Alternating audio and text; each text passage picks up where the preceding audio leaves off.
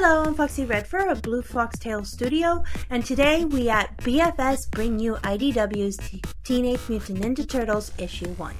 This comic dub is sponsored by Green Star Miami LLC and includes mild narration of the panels for the visually impaired. The TMNT was created by Kevin Eastman and Peter Laird, and the rights belong to Nickelodeon. IDW owns the comic book rights. This comic was written by Kevin Eastman and Tom Waltz. The artwork was drawn by Kevin Eastman, Dan Duncan, and Sam Keith. This video will now start for your viewing pleasure. Enjoy!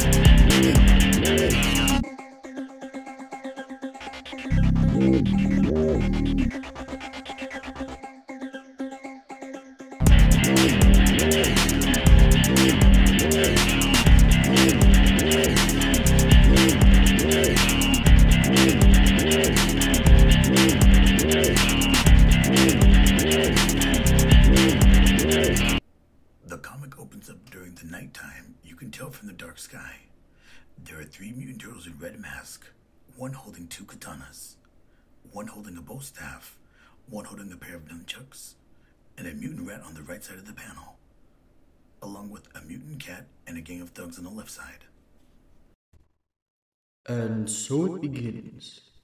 This how it's gonna be, Splinter? Dark clouds gather. The mutant cat points at Splinter and the turtles. You're gonna hide like a coward behind those those freaks?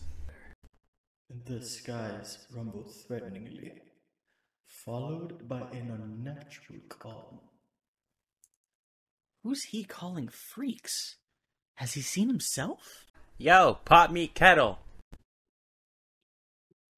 Silence, Michelangelo. The rat turns to the cat. Old Hob, this need not happen. We are not here to fight. We only want this neighborhood left in peace. Yeah. But then the calm vanishes. Old Hob gets ready to fight. Well, you can keep on wanting, rat. Old Hob orders the gang to attack. Waste them all. The gang attacks the turtles and Splinter. Splinter talks to the turtles as he fights. My sons, the storm has broken. None must die. Its wrath unleashed. I wish someone told them that. The turtles and Splinter are fighting the gang off. Donnie is holding one guy by the neck with his staff as he kicks another in the chest.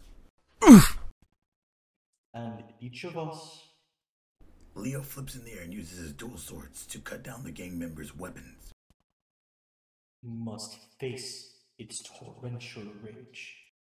Don't worry about them, Donnie. Just do it the way Master Splinter had taught us. What? In his own way. Train this. Mikey manages to whack a couple guys in the face with his nunchucks. Our individual techniques are as unique as each new Crash of Thunder. Old Hob throws a gang member back into the fight after the man was thrown out of it. Get in there. I want that stinking red and those slimy reptiles dead. Bo staff? Kicks one guy in the head and strikes another guy in the face at the same time. Coldly analytical and deliberate. Nails a guy with a gun in the throat with his staff. Bow tie. Gurk! Militantly disciplined and precise. Leo kicks a guy with a knife in the chest. Oof. Mikey destroys a man's family jewels with a kick. Absurdly unorthodox and carefree. Oh. Mikey turns away. No baby gangsters for you, dude.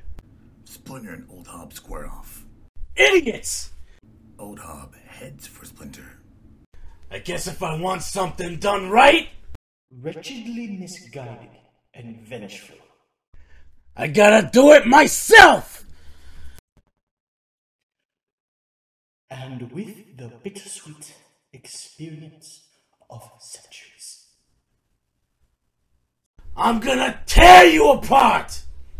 Old Hob swings at Splinter and the rat dodges. I have defeated Old Hob before. Then, as now, the battle was fierce. Splinter hits the cat in the throat. Blah! Then the rat swings and hits the cat in the stomach. But what was once solely a fight for survival Splinter clocks Old Hob in the jaw. has become very personal. Come on, guys.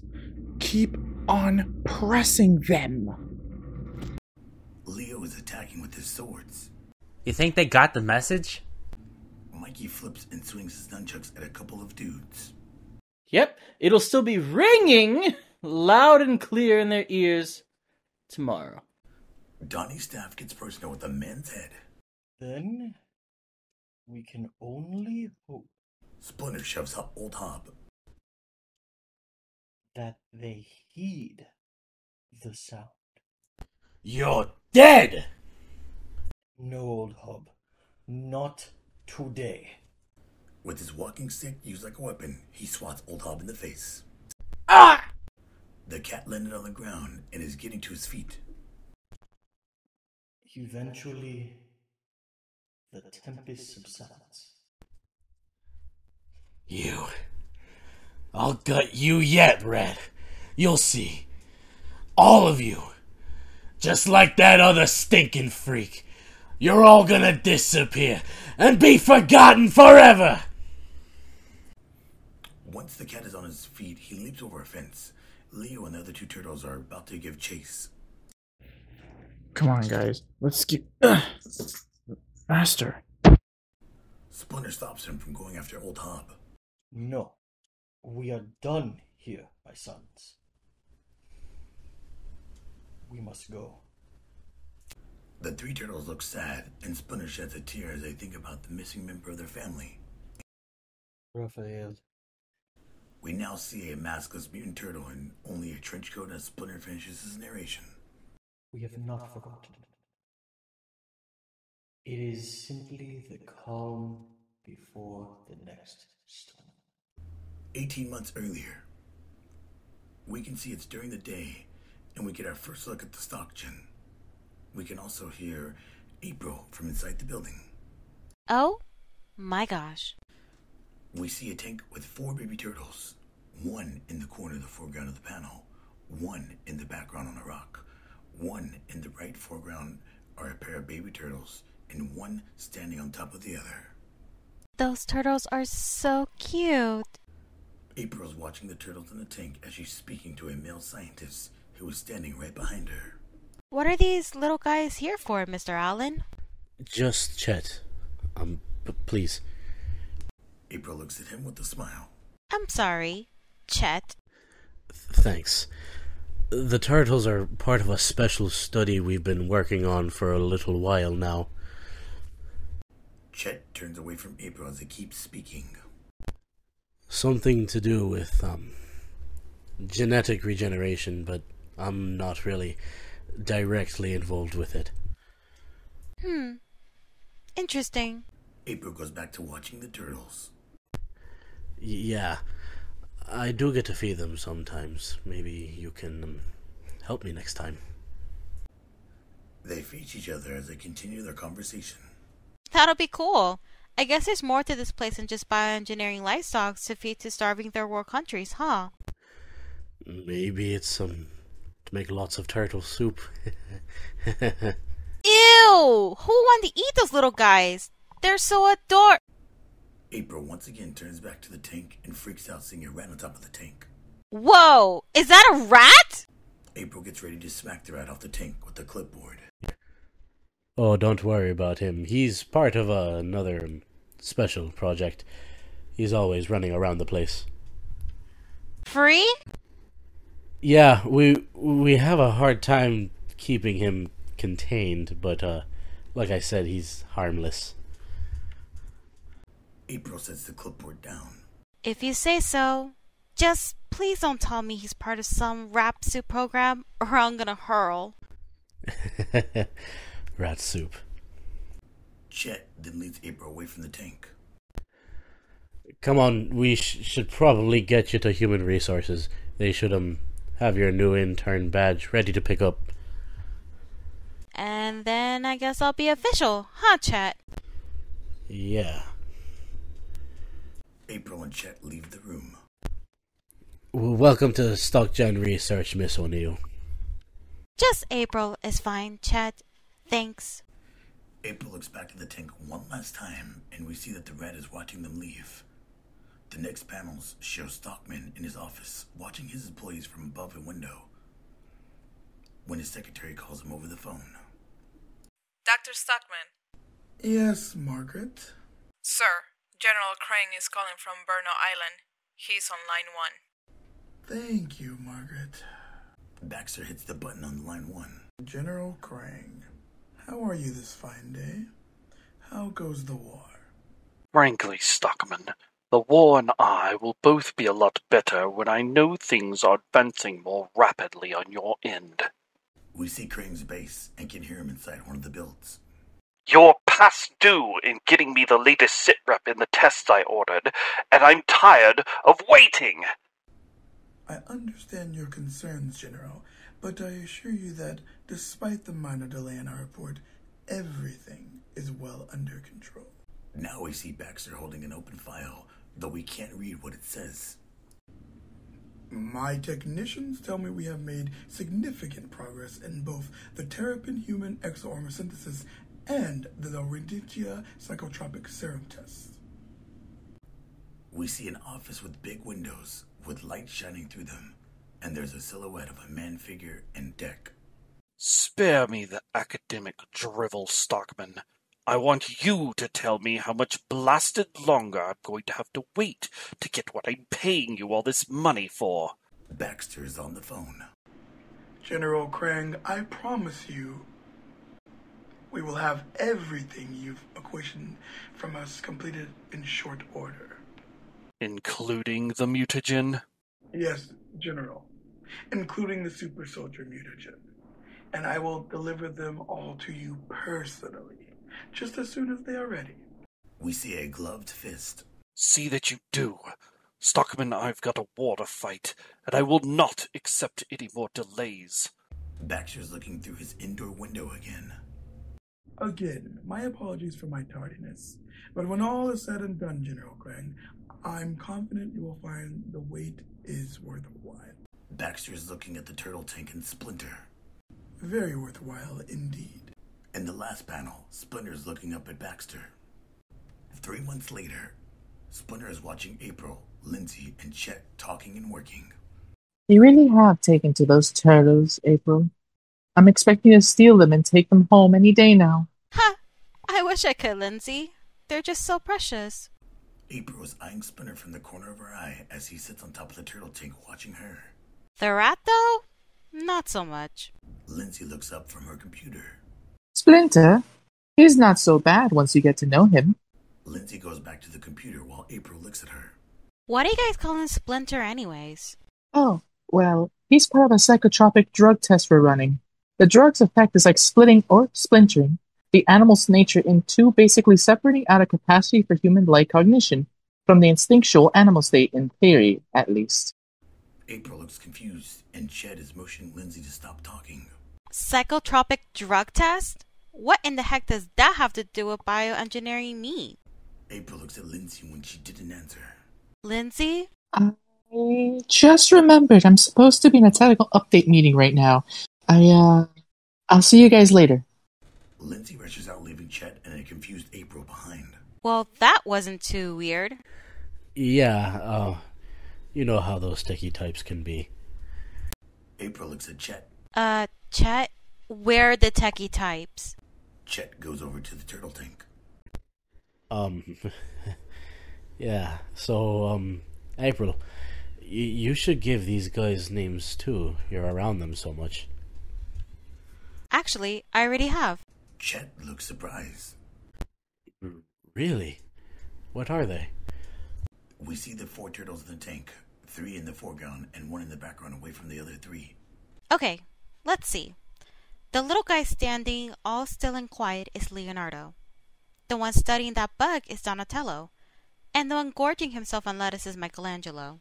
Chet raised a brow at April. Uh, I have History of Renaissance Arts 101 this semester. Chet points to a little turtle in the back that wasn't named yet.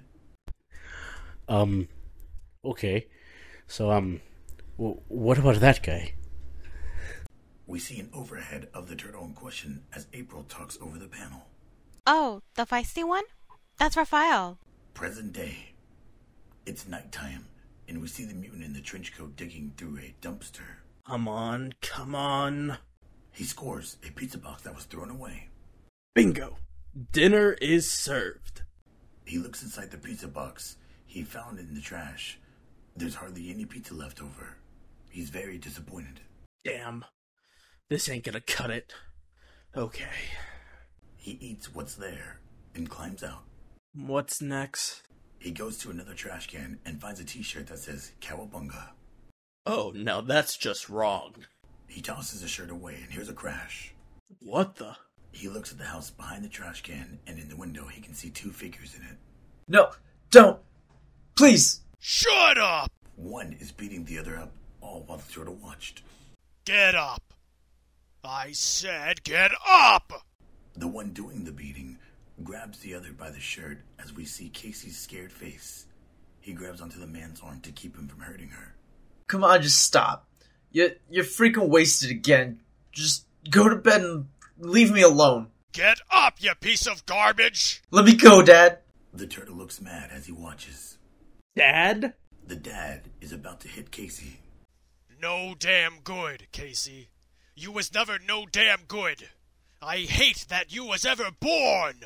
The turtle breaks down the door and draws the attention of the two humans. Huh? Who the?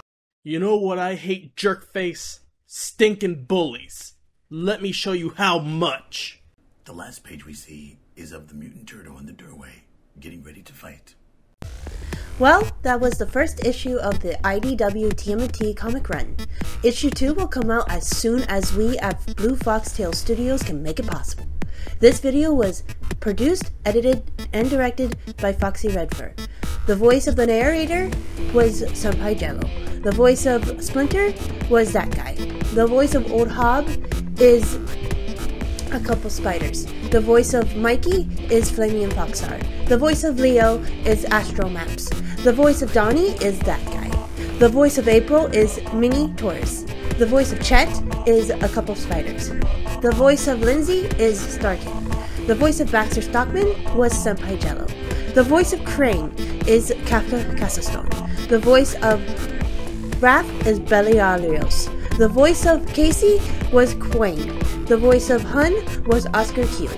The voice of Margaret was Digi Tiger 96. The voice of the gang members is Flamion Foxar. The music in this video for, for both the outro and the intro was made by me, Foxy Redfur. The character of Foxy Redfur was created by Jeanie Jones. Foxy's VR model was created by SilentRemi. The character design of Foxy was put together by Jeanie Jones and Sheepysquid. Thank you for watching from the Blue Fox Tale Studios team. Please don't forget to like, comment, subscribe, and share if you like this video. Bye bye!